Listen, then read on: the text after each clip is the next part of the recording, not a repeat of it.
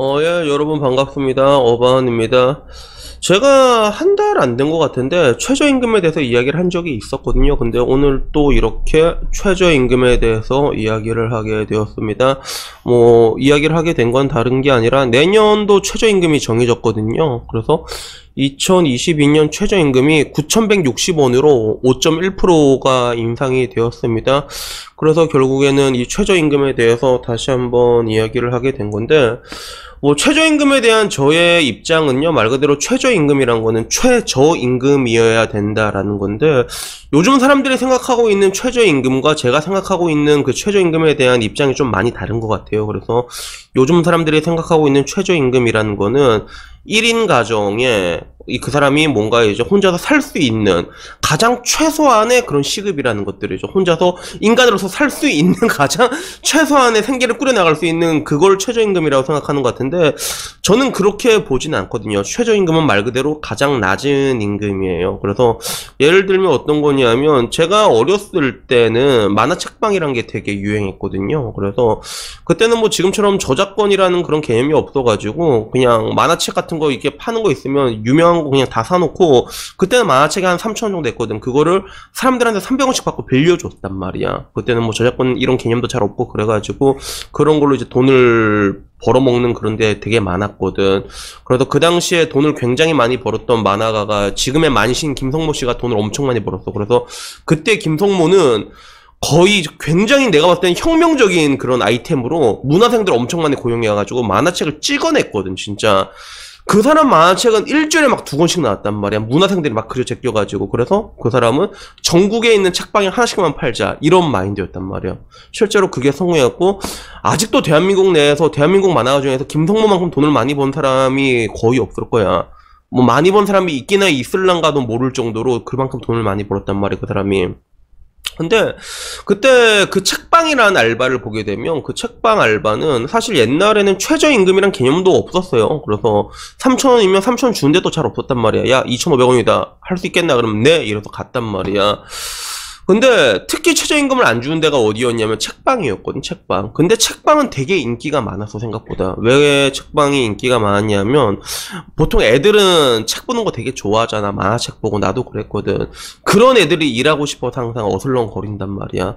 돈은 많이 안 주지만 일이 힘들지가 않았거든. 그냥 바코드 띡띡 찍고 돈 받고. 그게 끝이었어. 앉아서 그래 손님 없으면 만화책 보고 진짜 그랬단 말이야. 그래서 인기가 되게 많았거든.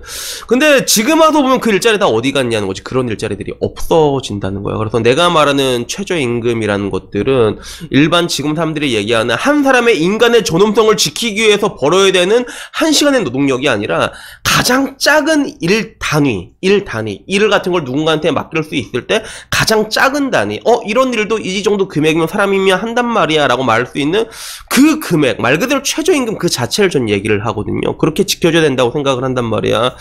근데 지금 와서는 이제 저 같은 생각을 가진 사람들은 굉장히 욕을 먹게 돼 있죠. 뭐 요새 같은 뭐 요새 워낙에 사람들 화가 나 있다 보니까 그래서 결국에는 지금 이 사단까지 오게 된 게 그놈의 그 소득주도 성장이라는 것 때문에 욕까지 오게 됐는데 나도 옛날에는 난 옛날부터 소득 주도 성장 되게 병신 같다고 욕을 했잖아. 그때도 좀 약간 불안불안했단 말이야. 그때는 뭔가 이게 그런 현 정부에 대한 반대 의견 자체를 말을 못했거든. 댓글 틀어도 엄청 많이 당하고 그래가지고 그래서 나도 이제 좀 이렇게 얘기를 하면서도 욕 좀 먹고 그러다가 이제 와서는 사람들이 한 명 두 명씩 욕을 하는 거야. 왜 그 소득주도 성장에 대한 rebounding이 오기 시작을 했단 말이야. 그래서 사람들도 이제 그동안 무서서 입 닫고 있던 사람들도 얘기를 하고 있는 그런 것들인데 결국엔 또 이렇게 최저임금이 또 올라가게 된 거예요.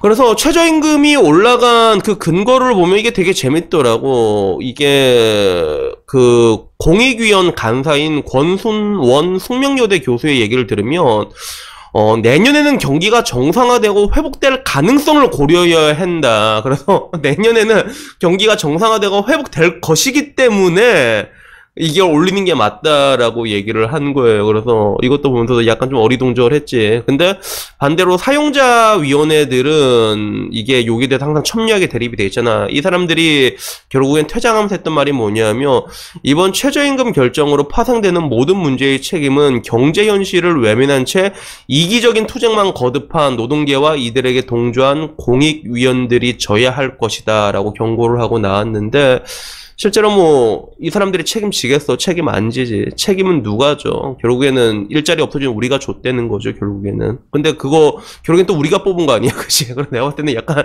자승자박이 아닌가 하는 생각이 드는데 어, 일본 같은 경우는요 시 도마다 최저 임금이 다 달라요 여러분. 도마다 이게 도쿄면 도쿄 이렇게 다 다르게 돼 있거든 나는 대한민국도 이게 고려돼야 된다고 생각을 해. 그래서 일본에서 살아보면 느끼는 건데 일본에서의 최저임금 말 그대로 내가 말한 최저란 느낌에 가깝거든. 고기부터 일이 빡세면 돈이 올라간단 말이야. 최저를 준 데가 거의 없어. 근데 현재 대한민국의 최저임금은 최고임금에 가까운 느낌이잖아. 이걸 못 지키면 말 그대로 이제 망하는 거고 이걸 지키면 이게 최고가 되는 약간 그런 느낌이거든.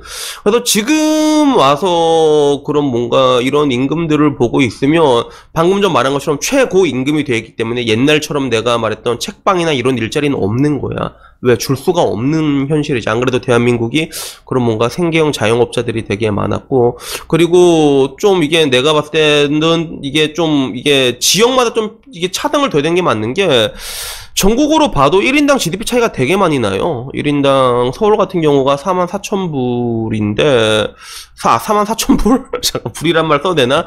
울산은 또 6만 5천이란 말이야. 내가 살고 있는 울산은. 여기는 대기업들이 되게 많거든. 뭐 석유, 정유, 화학, 뭐 현대차 다 있다 보니까. 근데 반대로 제주도는 또 3, 3만 불이고 그리고 대구는 2만 3천 불이야. 그래서 야 대구는 왜 이렇게 낮지? 라는 생각이 들고 그리고 이런 것들이 엄청 두 배 이상 차이가 나죠. 그런데 전부 똑같은 최저임금이 또 적용이 되고 있는 거예요. 지역 내 총상상이 이렇게 차이가 나는데, 아, 발음이 안 돼. 지역 내총 생, 씨발, 생산이 이렇게 차이가 나는데, 내 지금 피곤해서 그래. 피곤하면 내가 발음이 더 잘 안 되거든요. 원래 잘 안 되지만. 근데 이것도 똑같이 한 것도 좀 문제가 있는 게 아닌가. 그래서 저는 뭐 늘상 얘기한 것처럼 자본사회에서는 사람들이 돈이 없으면 죽거든요. 사람들이 돈이 없으면 죽는단 말이야. 그렇기 때문에 이런 것들에 대해서는 좀 되게 심사숙고하게 결정할 필요가 있다고 보는데 현재 대한민국에서 일어나고 있는 이런 뭔가 소득주도 성장을 비롯한 최저임금의 흐름을 보면 이 거는 지금부터 시작이지 이 나비 효과라는 게 계속 중첩이 되게 되거든요. 그래서 나중에 지나면 뭐 사람들 오지게 이제 피볼 날이 오지 않을까 그런 생각이 듭니다. 그리고 이런 최저임금에 대한 반응도 굉장히 첨예하게 엇갈려 있는데 남초에서는 이런 것들에 대해서 이제 좆됐다 라는 반응이에요. 그래서 좆됐다 기어코 쳐올리네. 그리고 한국에서 누가 사업하려고 하겠냐. 그리고 지금도 자영업자들 죽어나갈 텐데 저걸 어떻게 감당하냐라는 것들이 주류를 잃었다면 여초에서의 반응은 전부 다 오, 오, 적당하다, 적당하다. 심지어는 더 올라야 된다라는 말. 9,300원은 해야 된다. 9,500원은 해야 된다. 이런 이야기가 되게 많아. 그래서 보면서, 야, 어떻게 똑같은 걸 보는데 이렇게 서로 이렇게 다른 얘기를 할 수 있냐. 그래서, 남초와 여초는 확실히 뭐든지 봐도 이게 굉장히 첨예하게 대립된 경우 되게 많거든. 그래서 나는 이거 그냥 여자친구한테 한번 살짝 물어봤단 말이야. 여자친구한테 최저임금 올랐다라고 하니까 제 여자친구는 알바 자리가 더 줄겠다라고 걱정을 하더라고. 그래서 나는 그냥 차라리 이 템포로 1만원까지 가고 그 다음에 그냥 아사리 줬대는 게 그래야지 누군가한테 책임을 물을 수 있을 거 아니야. 그렇게 물어보니까 여자친구는 그러더라고. 나같은 사람은 어떻게 돈을 벌라고 약간 이런 느낌. 그래서 지금 나는 너는 상관없다. 지금 내 여자친구가 왜 상관이 없냐면 대전에서 그 택 배가 아니라 그거 택배 상하차를 하고 있거든 여자애가. 그러니까 이게 자기도 알아봤는데 일자리가 진짜 없는 거야. 뭐 이게 서빙이나 이런 것들은 진짜 잘 차지도 않고 나오지도 않고 나오면 칼같이 채가고 그러다 보니까 잠깐 잠깐 할 수 있는 게 이게 대전에 그런 거 택배밖에 없더라고. 그래서 택배 상하차는 뭐 괜찮다고 뭐 이게 고기는 시급 더 챙겨주니까 근데도 자기가 상하차를 하고 있으니까 짜증이 나는 거야. 자기도 좀 쉬운 일 하고 싶은데 일할 게 없어서 상하차 하면서 이제 애가 부들부들 하는 거야. 그래서 얘기 들어보니까 상하차는 일이 힘들어서 그 추노라고 하죠. 그걸 많이 한다 하더라고. 그래서 실제로 이렇게 업, 업소, 아, 또 업소래, 씨발. 업체에 가면, 그 상하차 추노한 애들 명단이 다 적혀 있다 하더라고. 그래서 자기도 이제 그런 거 보면서 좀, 내, 내 여자친구는 좀 일자리를 좀 많이 걱정을 하고 있더라고요. 그래서 확실히 느낀 게, 똑같은 여자지만 그래도 어바님 유튜버를 2년씩 봤던 제 여자친구 같은 경우 그래도 어느 정도 기본적으로 이제 뭔가 이제 경제적인 관념이라던가 아주 최소한의 그런 기본적인 소양들은 이제 갖춰진 것이 아닌가라는 그런 생각이 들었고요.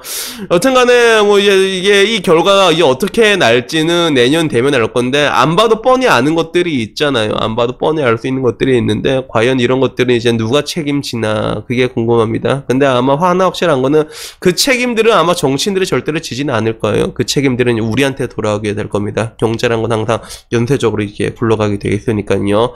그래서 여튼간에 뭐 오늘 이야기는 여기까지고요. 다음에는요 조금 더 좋은 이야기, 좋은 뉴스로 찾아뵙도록 하겠습니다. 이상입니다. 감사합니다.